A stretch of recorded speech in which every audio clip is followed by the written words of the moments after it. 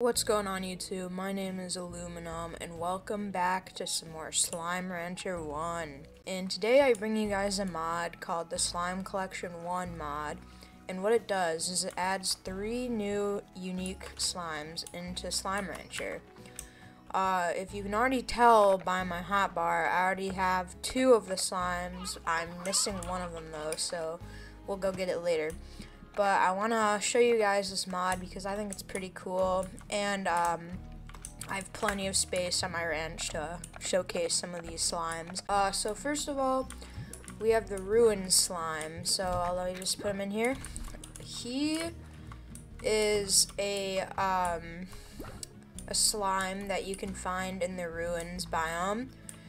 And he won't produce any plorts, uh, but if you feed him, if he's in a corral and you keep him well fed, uh, first of all, he won't produce this dust cloud, which actually damages you if you see down there at my health bar. He will actually produce like minerals that you normally get from uh, ex an extractor, so I'm just going to demonstrate it by feeding him some heart beets. Didn't know. Oh, you see? He did it right here. But next up, we have the unstable slime. And basically the way to get an unstable slime is you need to feed a quantum slime, which is also found in the ruins biome, uh, unstable shard, which, um, oh my god, he's producing more stuff. But unstable shards are found in, like, the mineral resource extractors, so just get a drill and place it, like, what I did is I placed it right outside my lab and um, you can just kind of, yeah.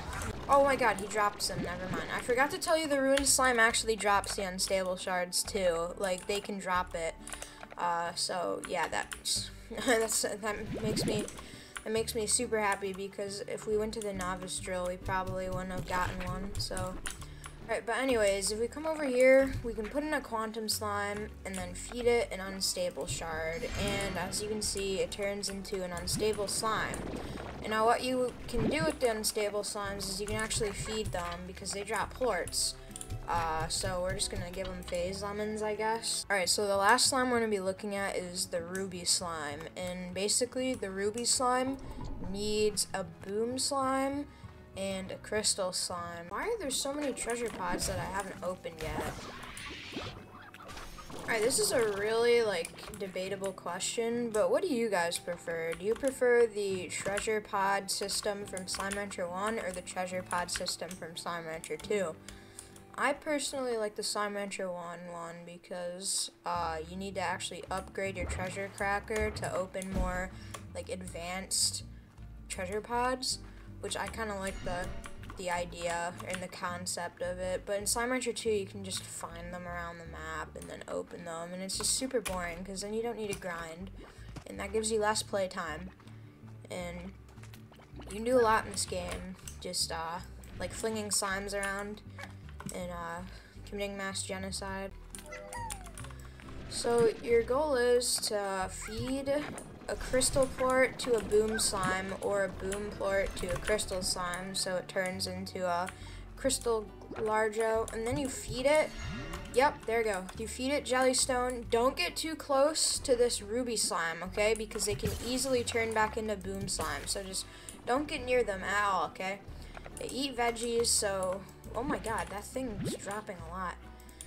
They eat veggies so we can go here feed them a little whatever you do, just don't get close to it, or else it will turn back into a boom slime.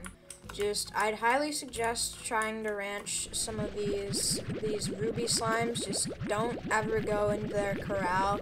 Stay pretty far away from them.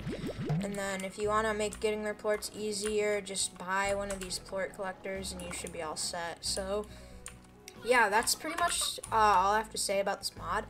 I think it's really cool, and if you guys want me to do more mod tutorials, just leave a like and comment down below, because I like looking at your guys' comments, seeing feedback and stuff, so I have plans for the next videos. Sorry that I haven't uploaded, I've been really busy IRL right now, but yeah, that was the mod, and I'll see you guys in the next video, It might be another Slime Rancher video, could be a different game, I'm not sure. I have so many games I haven't showed you guys yet, and it's really hard picking which one I want to show you guys. Uh, so yeah, thank you guys for watching, and I'll see you later.